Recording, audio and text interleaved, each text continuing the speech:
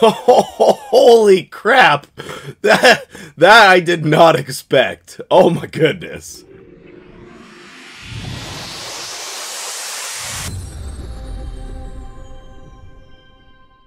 What's up guys, MTG Jedi here on the test server. Thank you so much, Plarium, for allowing us on here. We have some things to take a look at. I think this is mostly aesthetic, but we have a freaking carnival here for for the fifth anniversary. Like, are are any of these things like new that we can click on? I don't think so. But um yeah, I just needless to say, I was not expecting this. Holy cow. That's crazy. Okay, so it's still the same features. They're just, you know, different appearance. I think the Guardian Ring with Maneater juggling is absolutely hysterical.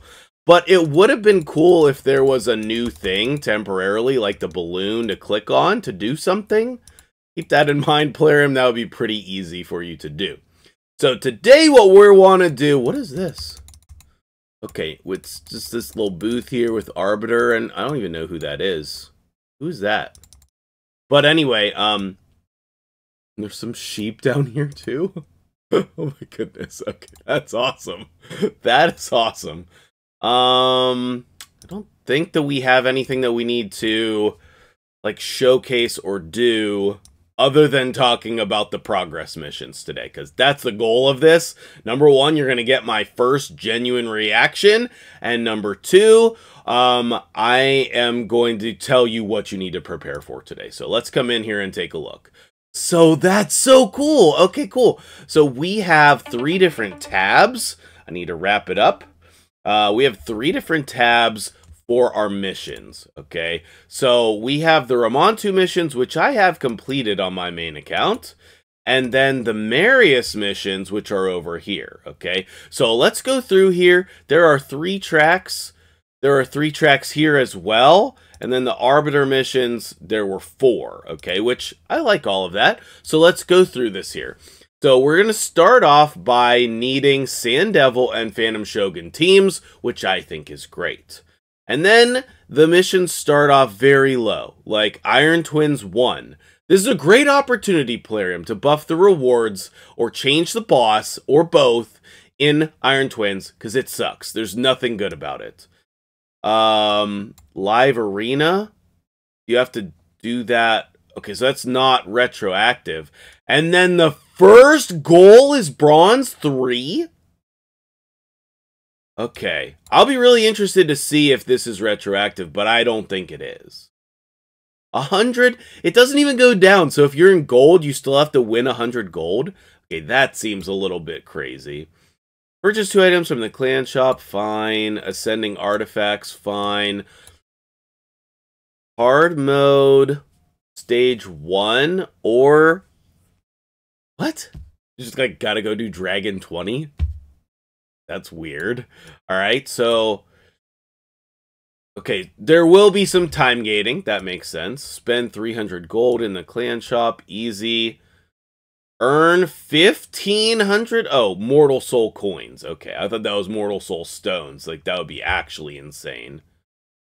That will take a little bit of time, but mm, you know, I haven't seen anything crazy. Earn 120 Immortal Soul coins from selling souls? Okay, that's actually fine. That's that's not going to be bad.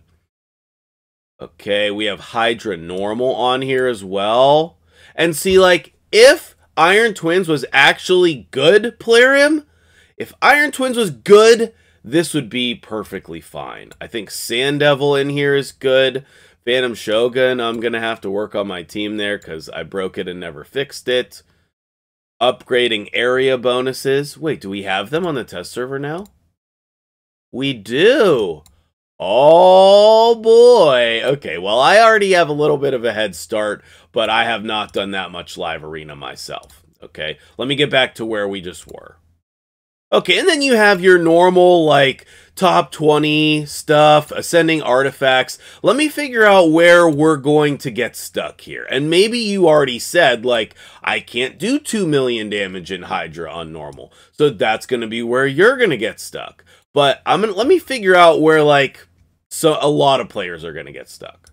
I do want to say, like, there are levels in the Cursed City too, and stuff with mythical artifacts, which is interesting but fine. And you can see here, like, we're we're in bronze four on leg one of the missions. I think anyway. Because I, I don't I'm pretty sure this is still all part one. Spend 200 crests, so you need to start saving immediately. You need to just save your... That's stupid. I, that is really stupid. I don't like that mission one bit. Because it punishes people who have done a lot. It punishes people who have done a lot. Impulse artifacts. Okay, start saving your impulse artifacts, but we will we'll get them just for like doing that. And then the first leg is 6 million damage on Hydra normal. That is going to stop some people. And then I, I don't think we can see what the next leg is. Maybe we can get that information from Plarium. Let me know. I'll do a video on it, Plarium. Um, I don't know. There's just no way to see it. I don't think. So, anyway, if you want to get through the first 60 missions, awaken a champion to level 2. So, you know, hold on to some souls, but that should be easy. Um, presumably, you're going to need to awaken somebody to 6 stars. But will people really be able to get up a you know I, I assume the second leg's gonna have silver live arena is the third leg gonna have gold live arena probably that's my guess uh that's my guess let me know what you think about all of that in the comments below uh we do have a bunch of new champions on here as well that has not been my focus on this video um but that is a thing like we have this guy. We have what are you? Oh, there's Armands. Where's the other one? What is this? Bina. oh, it's the High Elves. Uh, Unity chick. 50% chance to increase a cooldown of a random skill when counterattacking teams up with a random ally. That's cool. She has a counterattack. And she places, oh no, she places counterattack on an ally. And it resets the cooldown of all the target skills. So she can place it on herself, or she can, that's a very powerful ability. And then here's the faction ability. Okay, grants an extra turn. What? So if you have another high elf, then she gets an extra turn. Increase attack, increase crit rate, increase crit damage, plus grants an extra turn. That's really strong and I love it. But before placing buffs, removes all debuffs? Bro, that's awesome! Buffs placed by the skill cannot be removed. Wowzers. Dang. That's very good. And what do we have over here? Deals 25% more damage when basically counterattacking. Whenever a buff is removed or stolen from an ally or when it expires, fills their turn meter by 10%. Okay. Allies will ignore 5% of target's defense for each buff on them? Wowzers. Yes, I, I love all of this. I love all of this, and she looks super cool. I'm so in for this. I know everybody's going to be salty because Plarium is going to make these champions pay to win, just like Aislinn. But I am so in. Just Plarium, make there be a better way to get these. Make there be a better way to get these. What is this guy? Obviously, oh, this guy is so cool looking. 25% speed in dungeons, which is interesting. Okay. Teams up with all allies. Also fully restores destroyed max HP and places continuous heal. Wowzers.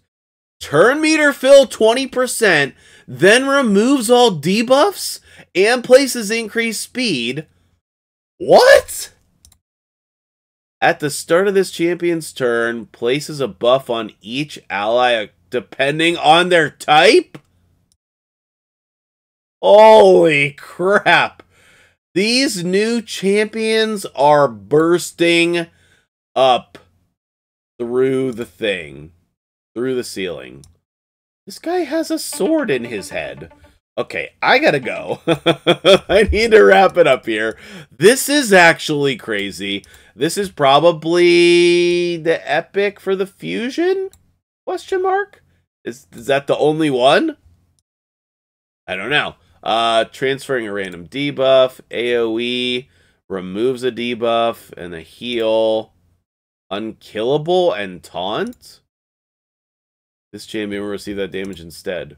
That's all right. That's pretty decent. I don't know. I feel like I need this guy on the free to play. I can tune him. Wait, do I need to? Will the clan boss just automatically target him if he has the taunt up? If I speed tune him, does that do things for me on the free to play? Maybe. Ooh, that sounds very intriguing. Let me know what you think about all this in the comments below, especially the aesthetics here. Thank you for watching. I'm MTG Jedi. Have a great day, and start saving stuff in Live Arena, Phantom Shogun, Souls, all of that stuff. Start saving immediately so that you are ready for when these progress missions come out.